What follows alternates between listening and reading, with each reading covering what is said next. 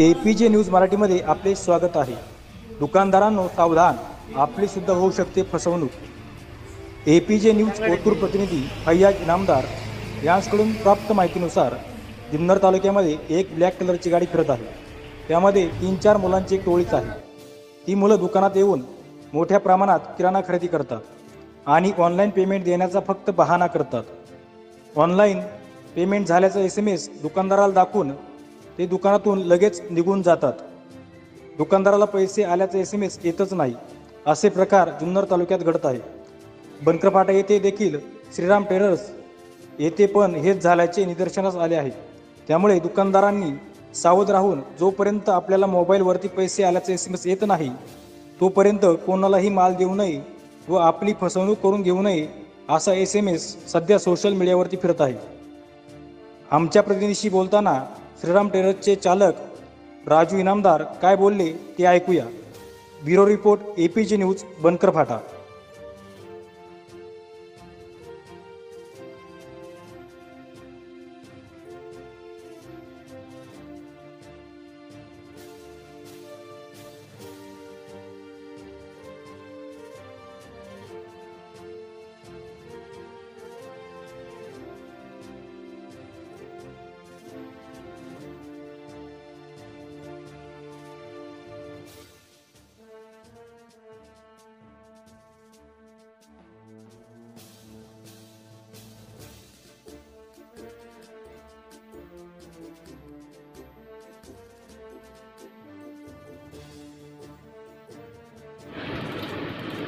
हे काय गुगल पेचे हे केलंय त्यांनी पहिले?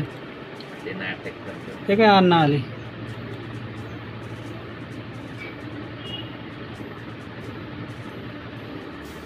खाली बघतात रे हम्म। बनेले वर नाही घरचे नहीं इकडून येता नहीं। ये क्या अन्ना तुम्हारा नाम बोल बहुत हो गया जुन्नर में जुन्नर में भी बहुत हो गए मैं बिना नंबर की गाड़ी लाना पड़ेगा। मुझे मैं मास्क पहन के आएगा। ते वर पाहतीच नाही हो निखिल जुन्नर में बहुत हो गया जुन्नर में पाँच छह दुकान में गए मैं इधर आने के लिए मैं आया रास्ते में एयरटेल मिला वरना ऐसे सुन आ, ये बोलते मायबूब में पेमेंट नाही मी पण चेक करून तिकडे स्टेटमेंट सगळे कुठं नाव येतं म्हणलं नाही बाबा मी ते मायभूमी गेली त्याच्यामुळे मी लगेच गाडीवर गेलो म्हणलं मायभूमीला जाऊन पाहावा आहे का?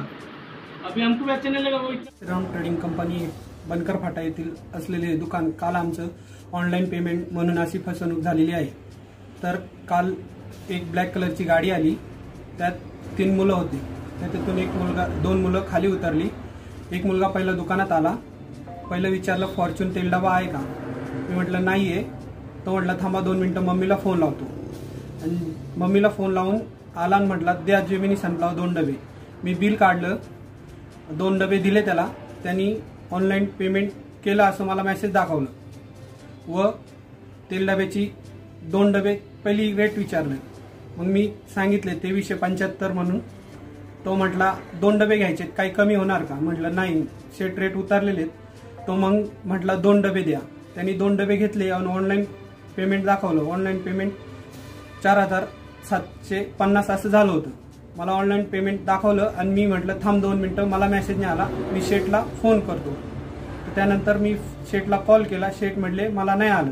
मी त्याला म्हटलं दोन मिनटं थांब. मी तो आलो म्हटला गाडीपासून. गाडी गेला आणि तसंच निघून गेली ती गाडी. आता याच्यानंतर ना तुम्ही बाकीच्या दुकानदाराला काय सल्ला देणार आहे? आमच्याकडून घडलं असं बाकीच्या दुकानाने घडू नये. बाकीच्यांनी सगळ्यांनी काळजी घ्या. ऑनलाईन पेमेंट हे खूप फसवणुकीचा प्रकार चालू आहे मग यानंतर तुमच्या शेटणी वगैरे काय कंप्लीट केली की नाही पोलीस कंप्लीट सेटनी केली तशी. सेटनी ग्रुप म- मध्ये टाकलेले आहे जुन्नर सगळीकडे. मीडियाला पण दिलेलं आहे. हा मीडियाला पण दिला आहे ओके.